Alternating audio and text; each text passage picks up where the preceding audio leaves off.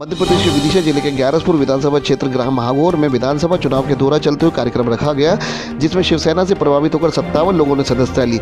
युवा शिवसेना, ग्राम अध्यक्ष विनय दांगी, उपाध्यक्ष दीपक दांगी, दीपक अहिरवार, मंत्री अंकित, महामंत्री नीलेश अहिरवार, सचिव कंचेदी प्रजापति, सह सचिव ऋतिक दांगी, मीडिया प्रभारी रजित प्रजापति, ग्राम अध्यक्ष शिवसेना राम बाबू प्रजापति, उपाध्यक्ष नरेंद्र दांगी, महामंत्री नवल दांगी, सचिव मोहर सिंह अहिरवार, सह सचिव राजकुमार प्रजापति, मीडिया प्रभारी गोलू दांगी, जिसमें मुख्य अतिथि युवा शिवसेना जिला अध्यक्ष लोकेंद्र ठाकुर, तहसील संयोजक धर्मेंद्र दांगी महागौर, तहसील अध्यक्ष विजेंद्र लोधी, युवा नगर सचिव मिलन दांगी, राम राम बाबू विश्वकर्मा अजय नाथ बलवीर दांगी एवं अनेकों शिव सैनिकों के साथ जिला मीडिया प्रभारी सचिन लोधी उपस्थित रहे। देखिए कैमरामैन अमित के साथ मुकेश तिवारी की खबर एस के लिए, ग्यारसपुर विधानसभा क्षेत्र से एक रिपोर्ट।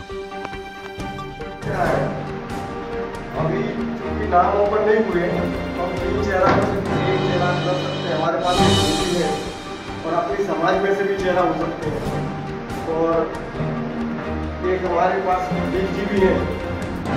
चेहरा कोई भी हो सकता है जो चेहरा लोकप्रिय होगा लोगों को एक विधानसभा में। चेहरा लगेगा जिसको वोट मिल सकते हैं चाहे वो कोई भी समाज का हो। चुनाव भी लड़ा रहे हैं और हो सकता है त्रिकोणीय चुनाव हो।